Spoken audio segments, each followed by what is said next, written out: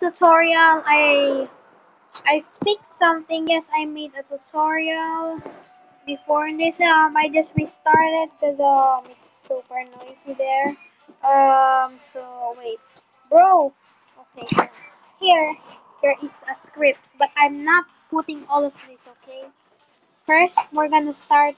Okay. The only script you need is the screen GUI text button, which will be in the description. The description, okay? You can. Uh, okay, so let me show you what it can do. It has built-in commands. So we're gonna go.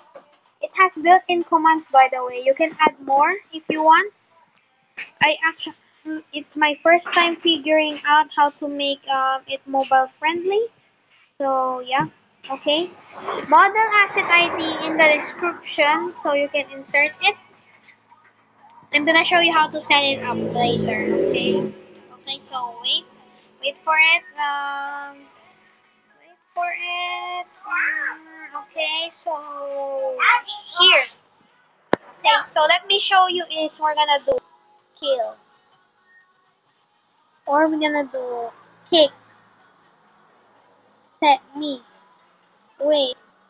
So we're gonna use the help first. Okay, so we're gonna use the help command. So what should I do? Um, I think I'm gonna do kick. Okay, we're gonna kick this guy. Kick. Okay, we're gonna need a player. Okay, the light dev Wesley V4. Okay, so we need to kick someone. Uh, the light dev Wesley V4 and boom, you got kicked. Okay, so now let me show you how to set it up. Okay. The only thing I'm gonna put in the description, the model ID and yeah. Okay, so first, insert the, first we need the code there. We're gonna open CMDR that I made. First, uh, we're gonna copy this, copy, duplicate this, uh, cut and delete. Now new. Now, first we're gonna insert the model asset ID. Okay, so it's this one, I think. I mean, not this one. It's this one. Okay, so here, the model asset IDs will be in the description. So here, first we set it up in starter. You put this in starter player scripts. Cut and delete. Okay, starter player scripts. Space into. You see, to see it, you need uh, uh, enum.keycode f2. Okay, next. In server script service. Insert this and paste it into. So in okay to set it up we need something. First we need the hooks and there is admins there. You need your user id in here. Okay there's some built-in commands but let's do that later. First let's go to the admin. You need your user id here okay to get your user ID, you can go to the browser or go to your this. I'm gonna get my user ID, copy this. First, you copy this. Then now, go to server script service, go to CMDR, go to hooks and admins. Now, put your user ID here. Equals to, okay, you have to put your Roblox user ID in order for this to work. Next, there's a create GUI. So now, how you might ask, how can I open it? So first, we're gonna make a button. You guys can, I think you can find another tutorial on how to make it only show for some certain people. But now, color, I'm gonna color it white. I'm gonna change the text to CMDR. Add a local script Okay, so insert this local script. It will be in the description, not this one. Bro, this one. Not this one, bro. Uh, um, okay, let's code it by myself. Okay, fine. Okay, first we need we need the player, so we need this. Okay, local play Okay, man. Player GUI. Yes, we need player GUI. Else? Player we need to wait for the child of it so uh player GUI next local um we need the frame local frame we need the cmdr first i forgot equals it auto creates the ui by the way. Only works in play mode so i mean in publish game. So we need to go player GUI, GUI we have to wait for it.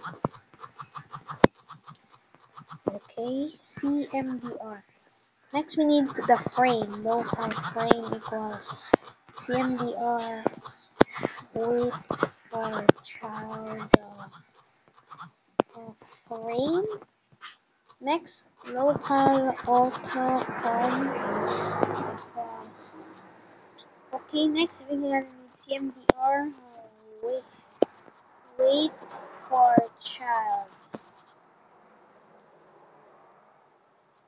Next okay auto complete.